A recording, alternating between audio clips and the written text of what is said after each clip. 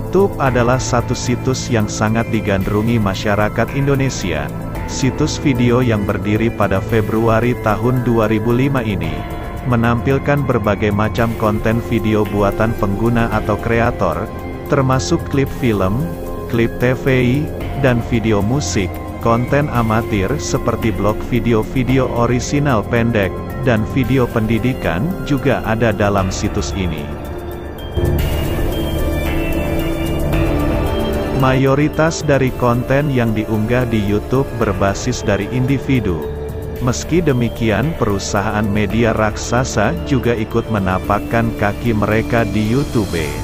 Perusahaan media internasional seperti CBS, BBC, Vevo, Hulu, dan organisasi lain sudah mengunggah material mereka ke situs ini sebagai bagian dari program kemitraan YouTube.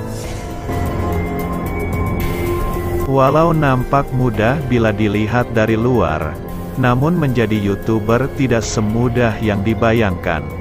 Karena bukan hal mudah untuk membuat konten video yang akan ditonton dan disukai banyak orang. Diperlukan konsep yang unik dan matang, kualitas gambar yang baik, hingga faktor keberuntungan.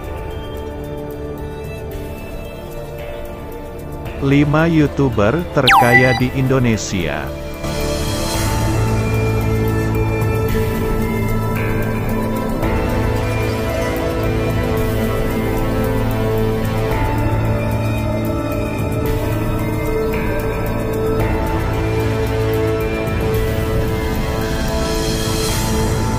Satu, Deddy Corbuzier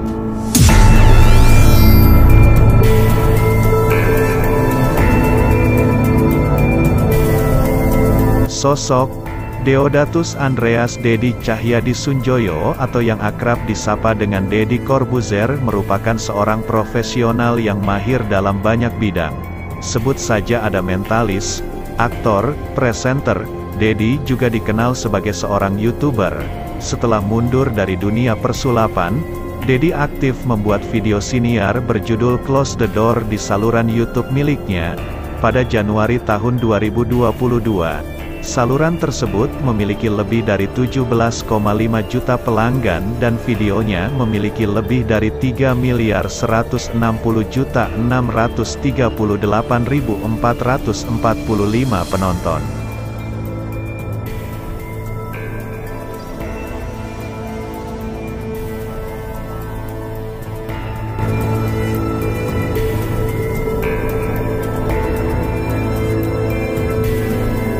Proyeksi pendapatan per bulan dari channel YouTube milik Deddy Corbuzier 28.200 dolar sampai 451.100 dolar atau setara 408,9 juta rupiah sampai 6,54 miliar rupiah. Video unggahannya mencapai 900 video dan hampir semuanya berisi obrolan podcast.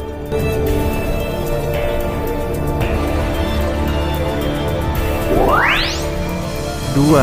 Raffi Ahmad dan Nagita Slavina. Sosok yang memiliki nama lengkap, Raffi Farid Ahmad merupakan pemeran, pembawa acara, penyanyi, pengusaha, bintang iklan, youtuber, produser, dan selebritis berkebangsaan Indonesia.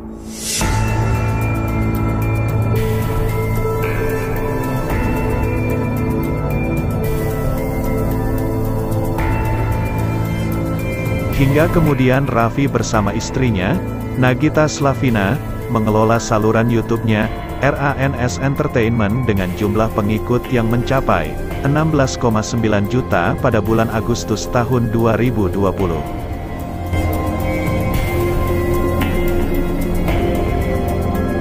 Karena kerja kerasnya dalam mengelola YouTube, kini pendapatan per bulan milik Raffi Ahmad dan Nagita Slavina diperkirakan mencapai 23.400 dolar sampai 374.600 dolar, atau setara 339,3 juta rupiah sampai 5,43 miliar rupiah.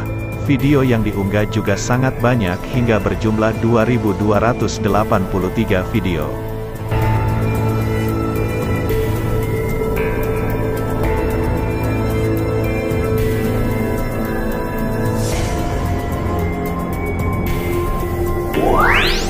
Tiga, Baim Paula dan Paula Verhoeven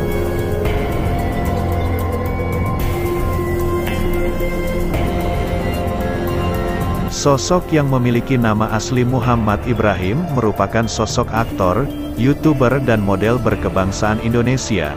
Dirinya memiliki darah keturunan Tionghoa dan Sunda, Jawa Barat. Sepak terjangnya di dunia hiburan sudah melalang buana. Dari sinetron sudah dimulai dari 2001. Berbagai penghargaan sudah disabet atas prestasinya.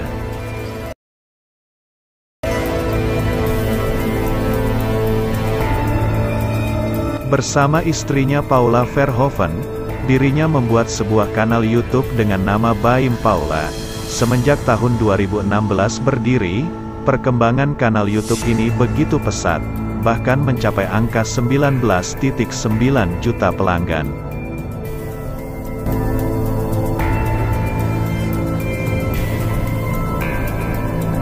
Pendapatan dari YouTube Baim dan Paula ditaksir sekitar 24.400 dolar sampai 230.700 dolar, atau setara 208,8 juta rupiah sampai 4,3 miliar rupiah. Adapun jumlah video yang telah diunggah sebanyak 1461 video dengan berbagai konten.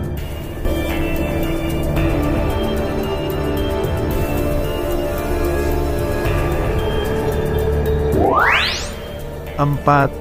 Atta Halilintar Sosok YouTuber terkaya di Indonesia berikutnya ada Atta Halilintar. Sosok yang memiliki nama asli Muhammad Atta Mimi Halilintar ini tercatat sebagai YouTuber dengan jumlah pengikut, subscriber, terbanyak kedua di Asia Tenggara. Jumlahnya mencapai 29 juta subscriber.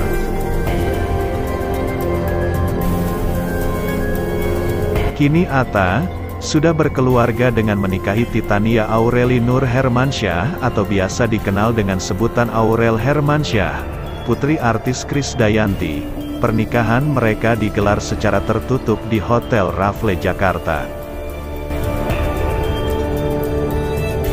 Berkat YouTube, Atta Halilinta diperkirakan memiliki pendapatan 9.700 dolar sampai 154.700 dolar per bulan atau setara 340,65 juta rupiah sampai 5,9 miliar rupiah. Jumlah itu didukung oleh 1.355 video yang telah diunggah dengan penonton 3,45 miliar penonton.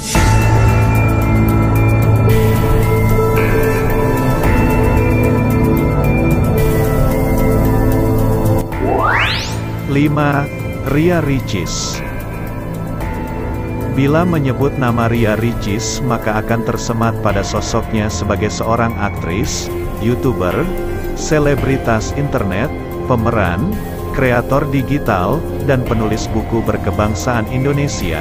Ria Ricis juga dikenal dengan konten permainan squishy hingga menjadi istri dari Toku Rus Haryandi.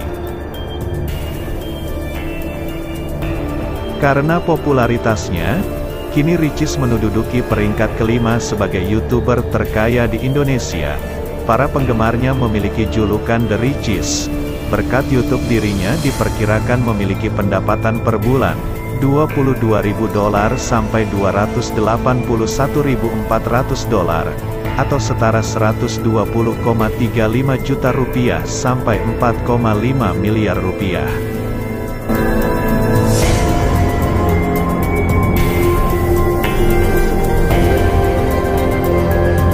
Begitu kura-kura, bagaimana pendapatmu? 5 YouTuber terkaya di Indonesia.